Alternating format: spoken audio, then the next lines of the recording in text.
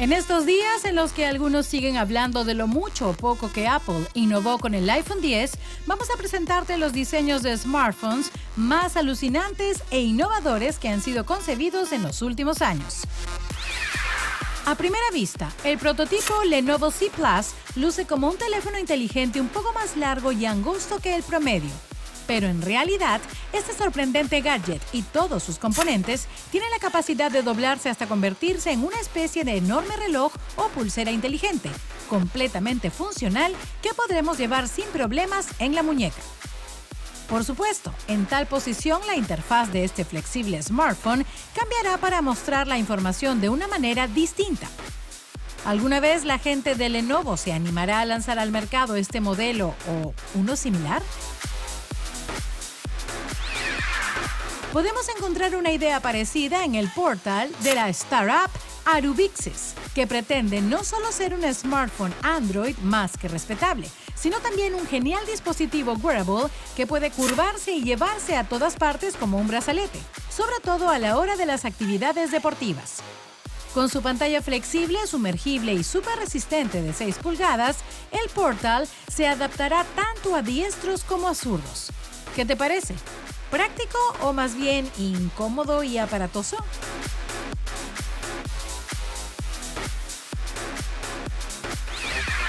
Y este concepto de teléfono inteligente de RD Core es realmente asombroso, sobre todo hoy en día que los smartphones son cada vez más grandes y difíciles de llevar es que este modelo, gracias a su gran pantalla táctil completamente flexible y sin marco sólido, se puede plegar como un acordeón, con el fin de volverlo más compacto y portátil.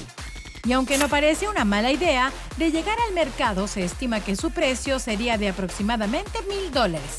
Quizás demasiado para tener un aparato que entre sin problemas en el bolsillo o el bolso. Hace unos años se mostró este interesante concepto de smartphone con el ya desaparecido Windows Phone 7, el cual contaba con un diseño plegable en tres partes que pretendía aprovechar al máximo la multitarea. Así, el triple flip tiene dos tapas laterales que recogidas protegen la pantalla, dejando lugar solo a las notificaciones más importantes y desplegadas lucen sendos teclados físicos para números y comandos, además del teclado QWERTY físico que surge desde la parte trasera. Por si fuera poco, al ser giratorias, las partes laterales pueden convertirse en soportes para ver videos con comodidad.